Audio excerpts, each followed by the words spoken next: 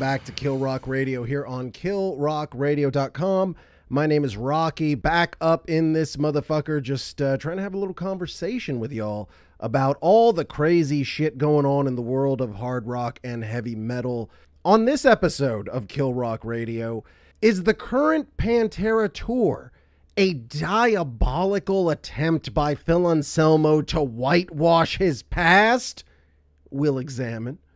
Also, I, I have actually a shitload of uh, of different uh, listener comments and all that shit. So we're gonna do an extended listener comments section and get through all that stuff. Let's go ahead and start off with this Phil Anselmo thing. Okay, so there was an op-ed piece posted to uh, Metal Hammer. You know, it's all owned by the same group or something. There's like four different sites. Anyways, the the most the most popular post was from Metal Hammer, and it's an op-ed piece by uh, by Matt Mills of Metal Hammer. It's entitled "Pantera were one of America's most important metal bands." Now they're little more than Phil Anselmo trying to whitewash his own legacy. So, of course, this is all based on the 2016 Dime Bash, where a drunken Phil Anselmo takes the stage, throws a Heil Hitler, says white power, and then is dragged the fuck off stage. I can absolutely understand someone who sees that and says, you know what? Fuck Phil Anselmo. Fuck anything he's involved with. I never want to see the dude again. I completely get where you're coming from. You're not an asshole for feeling that way. It's just how you feel. So whatever, that's fine. But here's my rebuttal to the to the op-ed piece cuz I got this from several people. Info at killrockradio.com is where you would send stories and shit for me to comment on to, but to me, the initial premise is really kind of fucked. I, I'm having a tough time getting my brain around it because I don't understand how this tour being a success, which it is. So, with that being the case, assuming that they're able to finish this last leg of the tour without something insane happening, what's changed really? Because, in the grand scheme of things, metal's not as popular as it once was. So, okay, Pantera goes around the world and plays to sold out arenas. Everybody sings along to these songs that they already know and love. If you look at Pantera songs in and of themselves, there's there's no racist lyrics to speak of. If you look at Phil Anselmo, you have to dig deep for anything beyond the Dime Bash. I mean, I understand the Dime Bash uh, incident in and of itself is just a gigantic blinking red fuck a red flag. This is, you know, a red spotlight with alarms and shit. I hear you. But there's this very um all or nothing sort of idea going on here with this op-ed piece. That like at some point he comments like, "Why don't people realize that Nazis are bad?" Listen, I'm right there with you. I think Nazis are fucking awful. Um, I think Nazis are pieces of shit. I'm like Captain America or Ronald McDonald. I would punch Hitler right in his stupid fucking face if I could. Assuming the tour's success, even when it's said and done, how would that whitewash the history of Phil Anselmo, especially since literally every other fucking month I get a story where somebody is bringing up the Dime Bash incident from 2016, which is nearly 10 fucking years ago.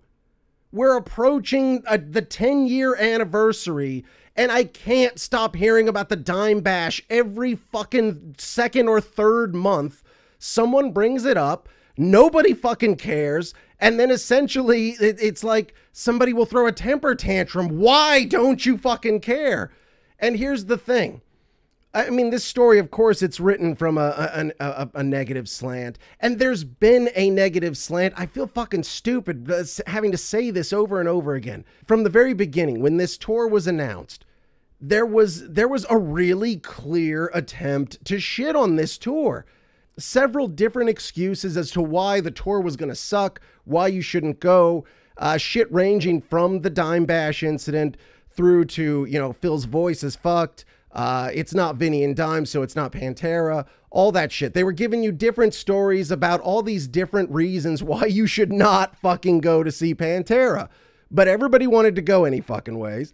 And so now it, it's, I mean, are, are, are, are we being scolded with this because we still want to go see Pantera? I think the reason I'm having a tough time wrapping my mind around it is the term whitewashing Like, uh, you know, Thanksgiving. We just had Thanksgiving. That's a good example of whitewashing. The reality, of course, anyone who knows knows that we put a nice face on what was what was essentially a genocide. Oh, here's the pilgrim and the Native American sharing a meal. You see, cultures can come together. Whatever, you know, that's that's whitewashing.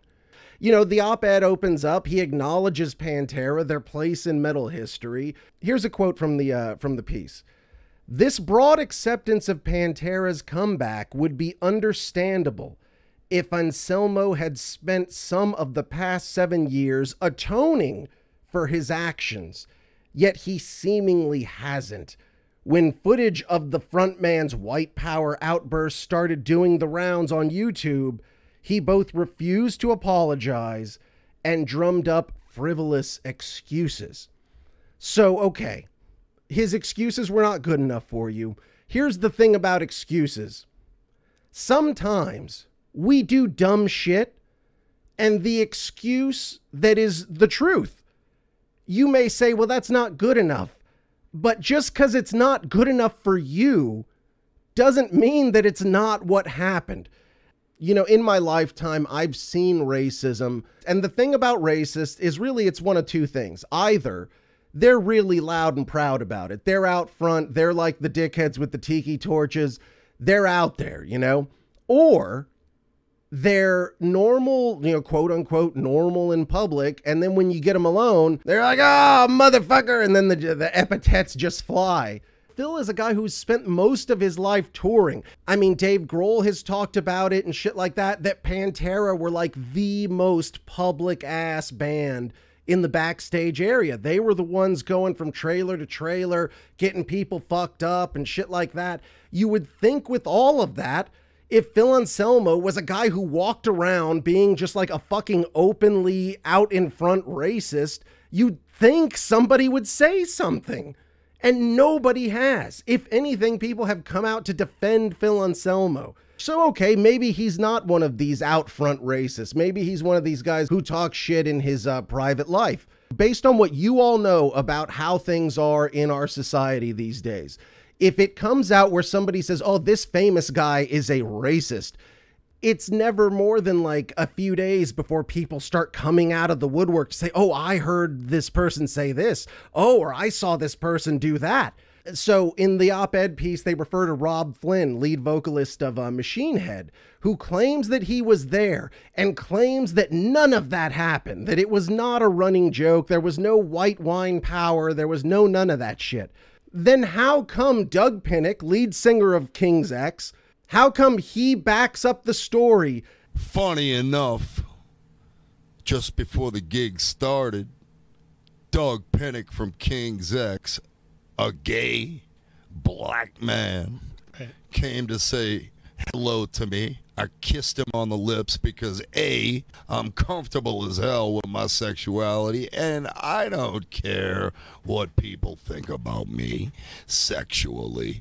He said, Man, you taste good. And it was a white wine. I said, It must be that white power. Ho, ho, ho. Yeah, so that was a joke. LOL. And Doug Pinnick backs this up. He shouldn't have done it. I can't stick up for what he said. I think he was trying to be funny and controversial, but he doesn't have a racist bone in his body. I know people say, How can you do something like that as a joke?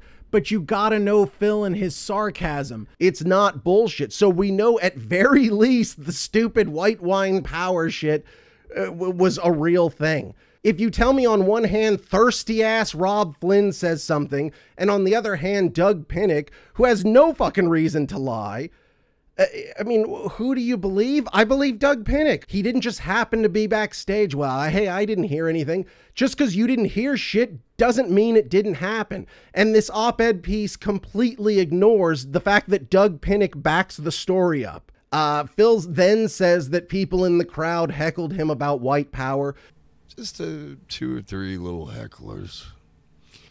What I did was show them exactly what ugliest, the ugliest possible thing I could think of at the time. This, they they were looking for what they got, and sadly enough, I gave it to them. But the thing is, you got I've always engaged my audience. And there's one point in that video that I invited them to come up on the stage, and I dared them to call me that to my face, and I'd break their jaws.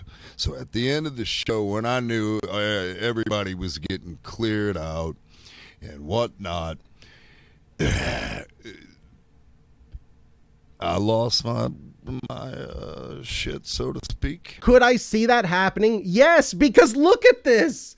This guy does it, nobody ever shuts the fuck up about him being a Nazi racist motherfucker. So I yes, I could absolutely see some people in the crowd were fucking with him about it. That would make sense to me. Um all I it would also make sense to me that he added that bit to it to give further beef to his initial excuse of the white wine power thing because everybody tells him it's not good enough. Well, also in the crowd, you know what I'm saying? Like you start trying to beef shit up. So the second half of it, I don't know. Could have happened, could have not happened. I don't know. What I do know is at the core of the story, there seems to be truth there. And if it's not good enough for you, I apologize. I don't fucking know what to tell you. But uh, if that's your only real uh, proof of this man being a Nazi, like that's a that's a heavy thing to lay on somebody who, once again, at the start of this story, kisses a gay black man on the mouth. Nazis are against black people and they're against gay people. So he's breaking two major Nazi ass rules when he goes and kisses Doug Pinnick on the fucking mouth. There's as much proof of Phil Anselmo being a gay dude as there is of him being a, a, Nazi in the sense that you have one night where a thing happens. If you take that one thing and pull it aside and put it on the side and you said, hey, tonight I saw Phil kissing a gay dude on the mouth. I think he's gay. That would be a story you could tell. And if Phil says, no, it's just a funny thing we do to each other, you'd say, that doesn't sound right. But it, it's the truth, you know? Also, Money Mills, he says that uh, if Phil had been atoning properly, well, what the fuck does he is he supposed to do? Of course, initially he didn't want to he didn't want to apologize. He didn't feel he did anything wrong. People don't want to apologize. Phil is known as a stubborn dude, so I understand him initially not wanting to apologize. He eventually sees the errors of his ways. He comes out, he does this fucking weird video apology. It was ugly. It was uncalled for. And anyone who knows me and my true nature knows that I don't believe in any of that. I don't want to be part of any group. I just I'm an individual and and I'm and I am a thousand percent apologetic to anyone that took offense to what I said because you should have taken offense to what I said. And I am so sorry. And I hope you just, man, give me another chance to. just give me another chance. I love all of you. And so he's there, he's crying, he's apologizing, he's acknowledging what he did wrong and getting into why it was wrong. What, what the fuck else? I mean, do we need a public flogging? Does somebody need to like just stick their thumb up his ass on fucking closed circuit television? What would be the right amount of, of atonement? It's just like, it's weird. Like, we have to please everyone. There has to be enough public humiliation, enough apologies for you to feel okay about listening to Pantera again. The guy came out, he apologized. If it's not good enough for you, then that's on you, dude if everybody else uh, says, hey, listen, shit happens, I don't know, we forgive you. You don't think that's cool. I'm sorry. I'm sorry. I don't know what to tell you. But to shake your finger at the world like why aren't you all as as enraged as I am? It's just it's it's ridiculous. And I think that's why even though I, I got this story sent to me by several people, I haven't heard it really catching on because how is this possibly a whitewashing if no one will let it go. It would be one thing if nobody had mentioned it in years and then Phil comes, he has this big triumphant return, people would forget about the previous shit. I understand that. But here we are in Metal Hammer, which is still one of the, the most popular heavy metal uh, publications, where you've brought it all up, you've made a complete case. The Dime Bash thing, that's the most obvious thing. And the the story is fucking stupid. I get you. When you say it's a frivolous excuse, it is. It's absolutely a frivolous excuse. Just like you have your opinion about what Phil Anselmo has said and done throughout his career, I have mine. I believe the stupid fucking story. Robb Flynn, who admits he has an axe to grind with Phil Anselmo, is literally the only dude who has said shit. Why is that? Eh, This whole I'm a racist thing is it's infuriating because it's false. Absolutely false. And I'd like to turn around and say, hey, what have you done to better your community, Robert? If you're going to call me out on this supposed heinous act, what have you done? What have you done? I know what I've done. uh, several people in the music world did respond. To give you two sides of the argument, M Shadows, vocalist for Avenged Sevenfold, says, I don't tend to agree with this perspective, but I respect it. The media should make us think and not be blowhards for the artists. Again, I don't agree, but I appreciate the pushback. Kadeem France of Loathe, which is a cool band, uh, says, Yeah, fuck this band if you're somebody who's sensitive to racism, triggered by images of racism, and you see a guy throwing a Heil Hitler saying white power, he's got a fucking shaved head. I get it. I get it. I understand where you're coming from. If you don't ever believe it, we're just gonna have to uh, to agree to disagree. I'm really surprised this even gives Phil so much credit for being like some like diabolical evil fucking genius that he would be figuring out this plan to whitewash his legacy. I really doubt Phil is that thought out. To me, it's as simple as this. Phil is touring stadiums, which he hasn't been able to do since Pantera. These are big fucking paychecks. This is a way for Phil to tour for a couple years straight and make enough money to essentially live the rest of his fucking life. I think it's as simple as that. I think it's as simple as a as a financial issue. And on top of it, from an artistic standpoint, this is quite honestly the only way Phil Anselmo is going to be able to tour arenas. Because on his own, there's just not that level of interest. I mean, the closest Phil got was with with uh, his band Down. I saw them open for Metallica. They were able to play some fairly large places, and uh, they've made some great albums and shit like that. But in reality, Pantera is the only way Phil gets to play these shows. And I think that's the main draw to him. I don't think Phil has thought that far ahead about whitewashing his legacy. I don't know what value he would get from whitewashing his legacy. Um, and on top of it, how the fuck could he do that when y'all won't let a motherfucker forget?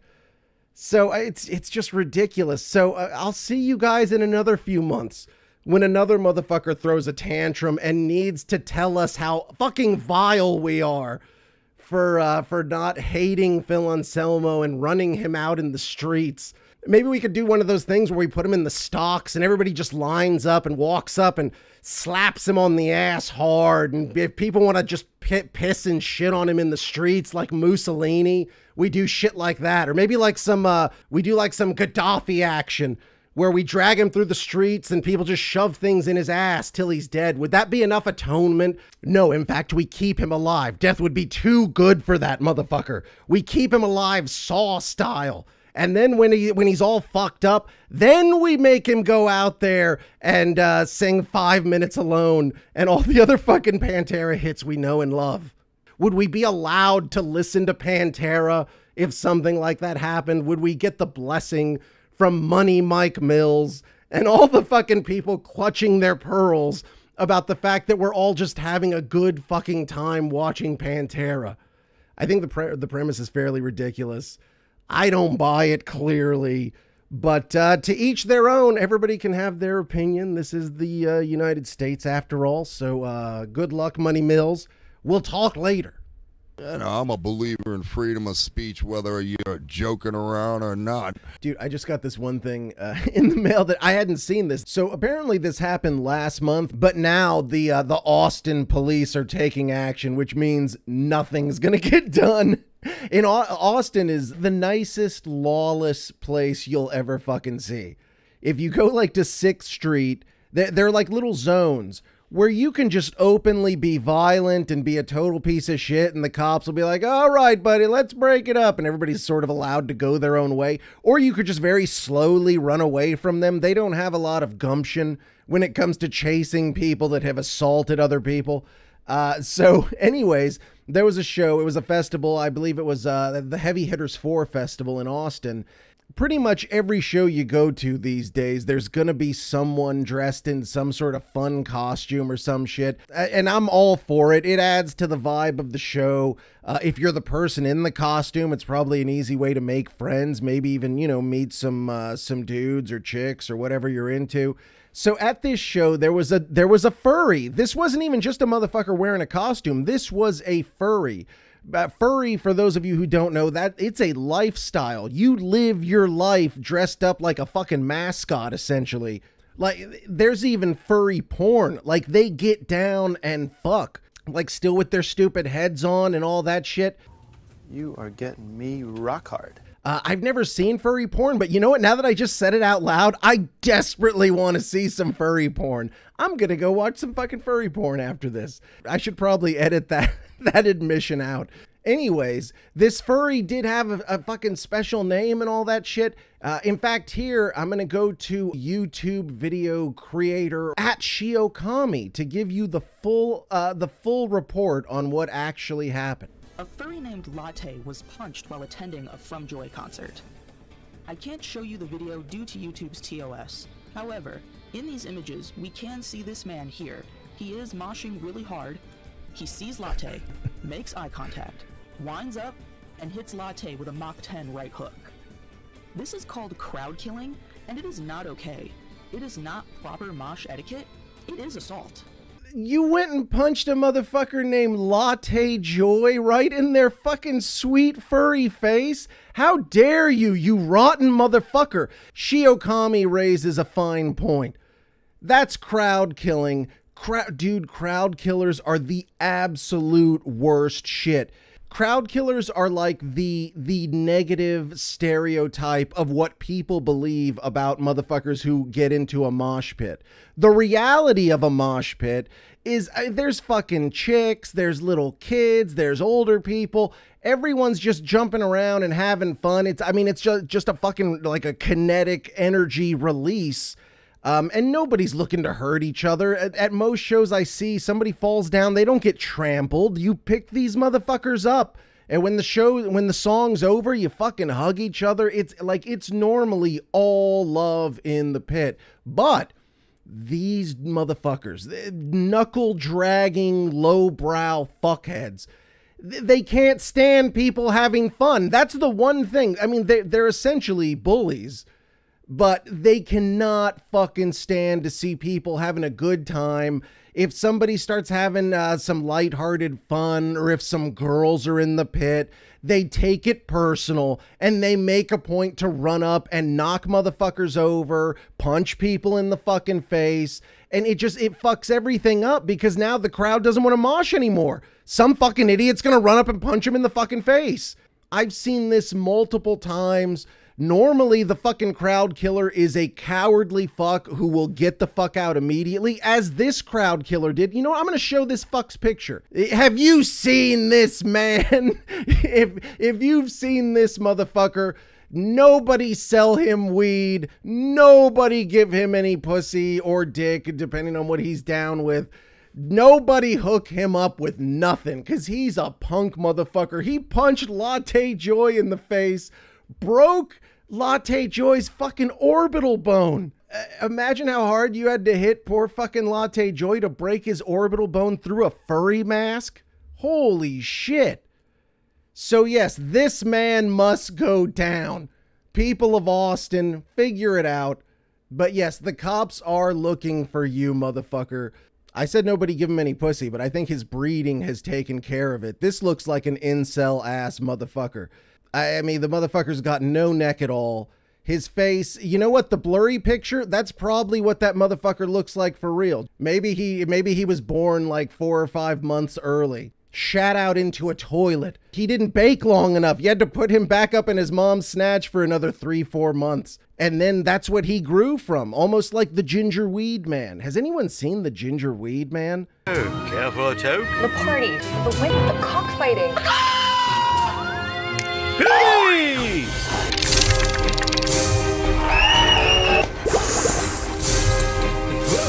What's this? I finally got on the cock, Peacock, the app. Uh, You know, they have uh, Evil Bong, the Evil Bong film series. I had never seen them before. I love watching like fucked up culty type movies. I checked that out, but I didn't watch them in, in the proper order. I started with The Ginger Weed Man. Holy shit. That is the dumbest. That is a 45 minute movie. And there's an intermission in the middle where they kill like five more minutes and it feels like it took forever. It's like it's the dumbest fucking movie humanly possible. Anyways, this guy looks like a character out of the Ginger Weed Man. It makes me uh, remember this one time here in Houston, uh, out at the Astro Arena.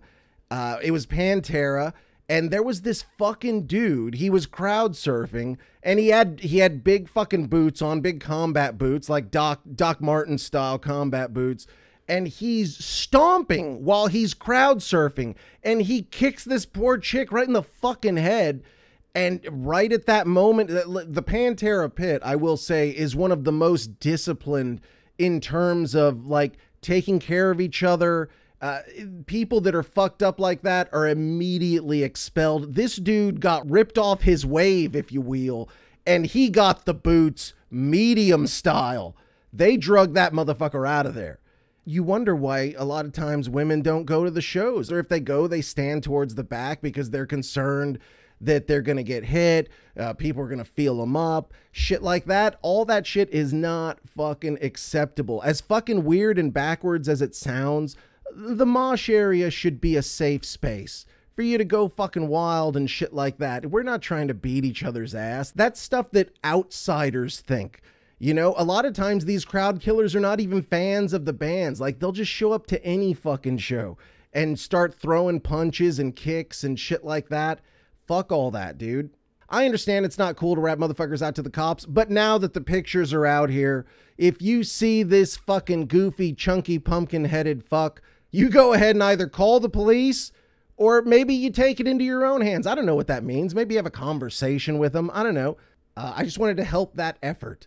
And also, uh, fucking Latte Joy, goddamn, get well soon, Latte Joy. And once again, thank you, Shi- Shiokami, for that uh, that that furry news report. All right, so anyways, I, I'm gonna have a little bit of an extended listener comment section, and fuck, man, this Phil Anselmo story that we were just referring to. There's so much instant feedback. I've got like over a hundred comments here. Uh, there's no way I'll be able to get to all of those, but uh, we'll probably have another extended listener feedback section next episode. But uh, in this case, let me go through all that. God damn, y'all motherfuckers. Some of y'all are racist. Uh, I've uh, just scrolling through this. I've already been called a retard. Uh, I've seen several racist things said, so that's something to look forward to next episode. A, a cliffhanger for you, if you will. But anyways, in regards to everything that happened last episode, my homie Illuminati of Illuminati Hov, I don't fucking know, says uh, in regards to Jay Weinberg being fired from Slipknot, the uh, former drummer now of Slipknot. He says, I'm definitely a fan that listened to only hip hop and was introduced to metal by Slipknot and will always be thankful and down for the ride. Uh, you know, Slipknot was absolutely one of the very best nu metal bands. I- I guess in the history of the genre, it's sort of coming back a little bit nu metal, so we'll see where it goes in the future. But if you look at that initial wave of of nu metal, nu metal is kind of the only scene that the only bands that were really great were the the most well-known bands, the top bands of the nu metal scene. Unlike a lot of scenes where like, you know, if you start to dig deeper from uh, let's say grunge, you know, you ju- you just heard Nirvana, but then from there you start digging deeper and you say, "Oh shit, Here's Pearl Jam, Soundgarden, Alice in Chains, shit like that. Oh, let's dig deeper than that. So on and so forth. So, uh, nu metal is one of the only scenes where it's like, okay, Korn, Deftones, Slipknot, uh, kinda Limp Bizkit. Some people consider Incubus a nu metal band, but they're really just a band from that era. But yeah, once you start digging down from there, I mean, you get to like fucking just the most awful shit. I mean, from there you get into like Crazy Town and Trapt and just like all the real trash of the nu metal era. So uh so yeah, absolutely. A lot of fans were able to to kind of make that crossover from being fans of hip hop to being fans of uh, of Slipknot, which almost sounds like it rhymes, but it doesn't. So staying on the uh, on the Slipknot tip, uh, Craig Braunschweig says, "I'm glad for Jay though. Thank you, man. I mean, my Slipknot love comes from a different space, but good for you. Also, so long as you're right, thank you, clown and great big mouth." Which I don't I don't necessarily know what the fuck you're even saying, Craig. But I will say he was immediately hit with Samp. I don't fucking know what that's even all about.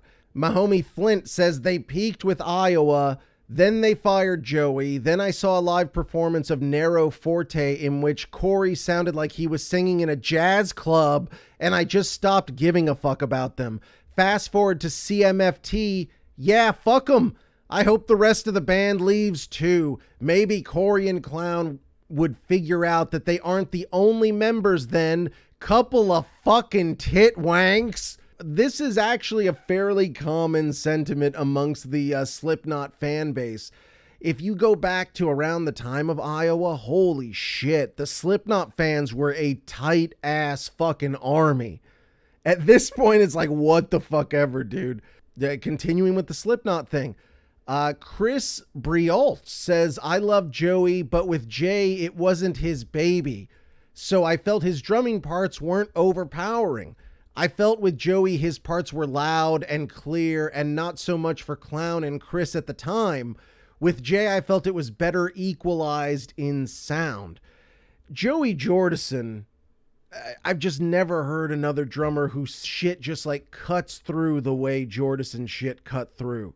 I, really, every element of it, from the fucking kicks all the way up to the fucking cymbals, like everything Jor- Jordison did cut right the fuck through, which is why uh, his his drum sound was such a huge part of those early albums. It's a huge part of just the overall sound of Slipknot in the early days, and that's why it's been so hard for them to recapture it since they got rid of him. And uh, rest in peace, Joey Jordison.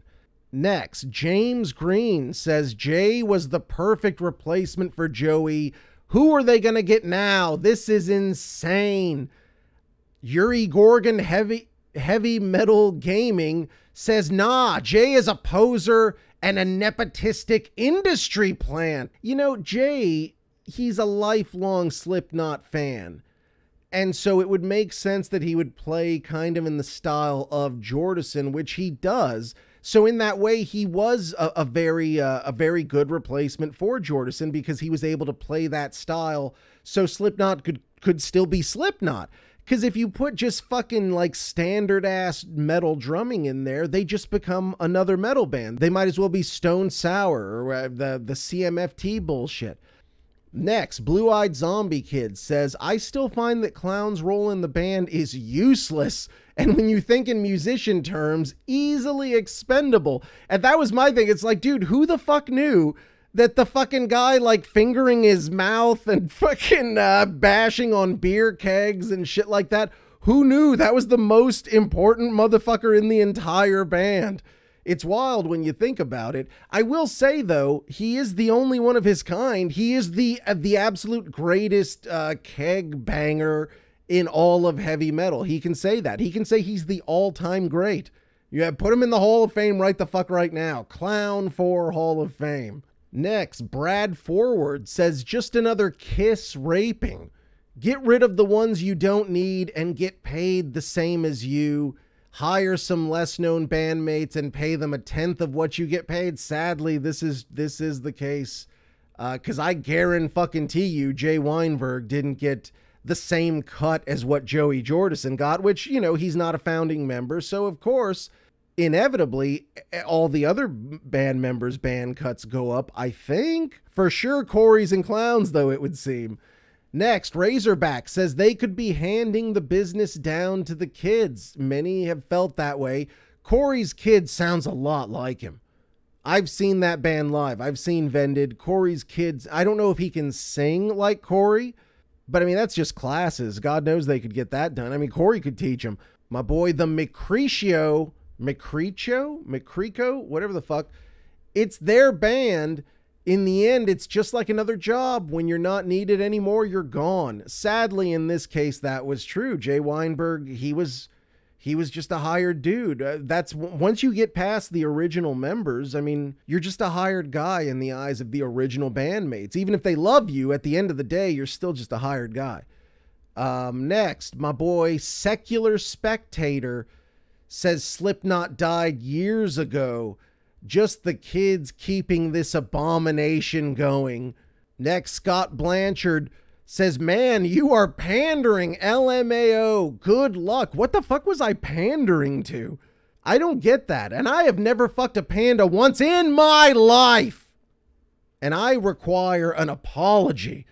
I am not pandersexual. I will not take this sass from you, Scott Blanchard. But no, uh, I, I what was I pandering to? I don't fucking know was I maybe I'm kissing ass to the fans too much? I understand where the fans are coming from. I've had the perspective of seeing Slipknot all the way from, you know, Ozzfest fucking 10 a.m. curtain jerker all the way through to being one of the biggest bands in the world. And uh, shit's changed. Shit's changed a lot, but you know, that's how it goes. Anyways, next, my homie Sick Productions says expendable assets after all hope is gone. I believe I lost track of them. I don't keep up with them no more, but yeah, the clown and Corey run the band's money. They fired two drummers now, and it says it all. Fire the drummer and keep the clown that jumps on a keg and hits it from time to time. If that ain't about the money, then then it's about how many drummers can they fire. You know, as an update, there is still no news on who is the new Slipknot drummer. That is a continuing story that we will get back to at some point, I assume. All right, next, uh, we got some feedback on our Ozzfest story. We were talking about uh, the Osbournes' new podcast, and they were talking about why Ozzfest had to end and all that good shit. Uh, speaking of Phil Anselmo, my homie user, whatever the fuck, says Phil Anselmo started dissing Slipknot after they started getting bigger during Ozzfest 2004, he stated, I see all you little pussies with your stupid Slipknot shirts on. We are down. If you don't like what I say, then come up here and fight me. What a jerk he was. If he was there with Down instead of Pantera, it's possible he would have been lower on the card. I don't even fucking know. Uh, but Phil was like that. Phil was on fucking opiates, man. He would just say random shit. That's why the whole Nazi thing, like I understand people would look if you if you don't have like all if you're not privy to all the shit, you could look at what I'm saying and say, "Man, whatever the fuck, you're a stupid asshole." But just based on all I know, like this dude, he just does shit. Next, uh, my homie Devil666 said, Well, I went to the last Ozzfest at Donington. That's fucking cool. Next, uh, Philly Merck says, My first Ozzfest was 04 in San Bernardino. Brutal AF. Funking it up says I was there in 1999 to watch System of a Down, Slayer, Deftones, Black Sabbath, Slipknot, not even yet on the main stage, Primus, and lots of others. It was at the Dallas Starplex where Kerry King recorded the outro to pa- Pantera's goddamn electric backstage in the bathroom. Then the next year, Static X, X played right before Pantera, so I lit a massive joint I said to each person, I'll let you hit this joint to get in front of you. I peacefully moved from mid pit area to the front of the stage in a few minutes. Got to watch the whole Pantera set there. A front row ticket for any big band is about 500 now. I paid 50 or 60 for all day at the Ozzfest. Man, that is true. The Ozzfest was was literally an all-day event and it was all day packed with really good shit. Rarely were there like straight up stinkers coming out at the Ozzfest. Whoever curated it, I, I assume it wasn't it couldn't have been Sharon. But whoever curated that show did a great, great job. The Ozzfest was always packed, first and second stage, full of bands that at least were worth checking out for the spectacle.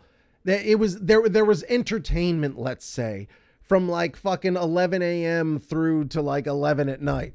And that's, uh, I mean, who else can say that? The the fucking Ozzfest, man. The world misses the Ozzfest. Bring it back.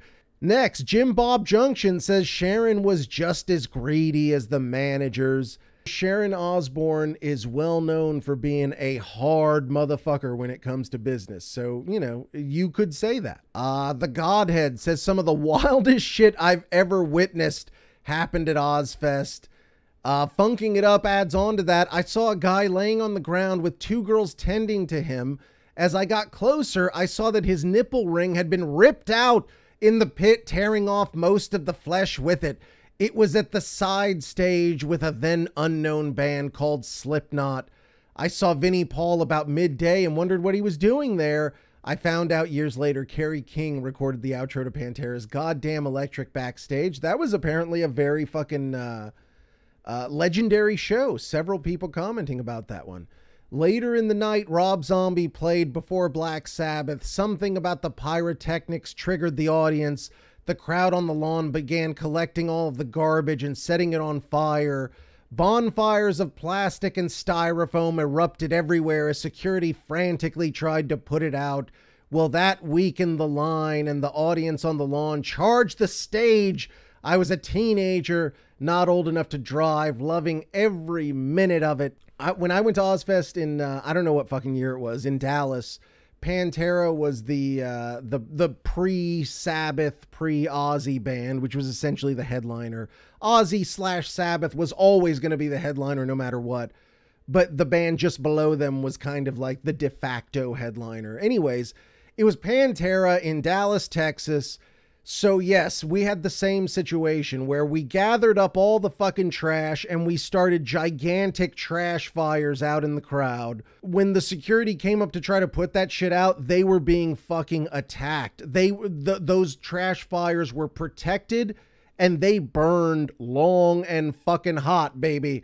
Because once the first guy gets knocked out, the fucking security's like, fuck that, man. I'm not, dude, let the fire burn, whatever but uh, but yeah, it, it it was it would get fucking wild at, at an Ozzfest show. You'd think that the crowd would lose power as the day went on, but no, no. Every wave of fucking new people came in, re-energized everybody. By the end of the night, it was a goddamn fury. My, my girl Monica Laterio says there was a free Ozzfest CD that came with my copy of Korn Follow the Leader that CD introduced me to so many of my favorites. I miss the Ozzfest so much, just as I just said. I absolutely know what you're talking about because I got that same CD. Was it Ozzfest or was it um I don't remember if it was specifically for the Ozzfest, but I know all the bands that were on it when I went to the Ozzfest. I remember listening to that CD so I would know who the fuck everybody was. So maybe it was. Maybe you're right. But uh, I remember that specific CD that had like early Incubus on it. It had Deftones on it, right? I believe it had uh, Limp Bizkit on it, Korn. Uh, it had like all the fucking greatest shit that uh, was playing at the Ozzfest at the time was on that CD. Absolutely, several people gave it uh, gave it a thumb and. So I think a lot of people love that CD. And I'm going to go ahead and end on that note. Uh, like I said, next next episode we're going to have probably even more listener comments but uh, anyways, thank you guys so much for sending your shit in. Info at killrockradio.com is where you can email us or just get at us through all our social media channels. Uh, thank you very much. Before I go, I would like to uh, give a shout out to our homies at Amazon Music, where right now, if you go to getamazonmusic.com slash killrockradio, that's getamazonmusic.com slash killrockradio, all lowercase, no spaces. Right now, you can get three months free. This is a limited time only offer, so you gotta move right the fuck right now. So, for three months, you could get unlimited access to Amazon Music featuring on demand, ad free jams, the most ad free top podcasts. You can listen offline with unlimited skips and experience the HD and spatial audio difference. Once again, go to getamazonmusic.com slash killrockradio and get three months free. If you want to keep it all going after the three months, you can keep it all going for a low monthly fee. But until then, you're kicking ass unlimited for free. GetAmazonMusic.com slash killrockradio. Thank you very much, Amazon Music. Thank you, the Kill Rock Radio audience, for listening. We will keep this conversation going next time. Until then, I will talk to you crazy motherfuckers later.